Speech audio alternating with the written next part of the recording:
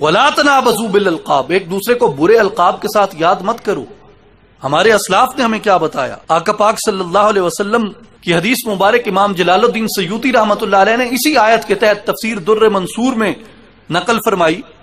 فرماتے ہیں کہ قالا ان یوسمی ہی بغیر الاسلامی، یا خنزیر، یا کلب، یا حمار کہ لا تنابزو بالالقاب سے مراد یہ ہے کہ ایک دوسرے کو ان القاب سے یاد نہ کرو۔ اس سے مراد آقا پاک صلی اللہ علیہ وسلم نے فرمایا کہ اس سے مراد یہ ہے کہ کوئی شخص کسی کو اس کے غیر اسلامی نام سے پکارے اور اس کو جانوروں کی مثل نسبت دے کر کہے اور اس میں تین جانور فرمائے کہ یا خنزیر ہو یا کلب ہو یا حمار، کہ کسی مسلمان کو گدھا کہنا۔